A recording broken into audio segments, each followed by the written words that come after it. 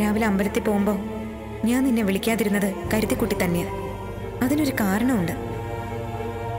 നീ ശ്രാവണി ചേച്ചിയോട് സംസാരിക്കില്ല. പിണക്കത്തില്ല. പിന്നെ എങ്ങനെയാ രണ്ടുപേരെ ഒരുമിച്ച് കൊണ്ടുപോവുക?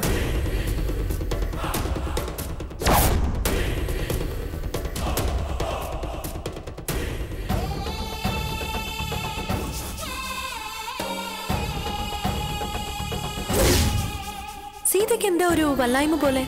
ഒരു സന്തോഷക്കുറവ്. രാവിലെ അമ്പലത്തിൽ പോയിട്ട് വരുമ്പോ കണ്ട സീതയല്ലല്ലോ ഇത്.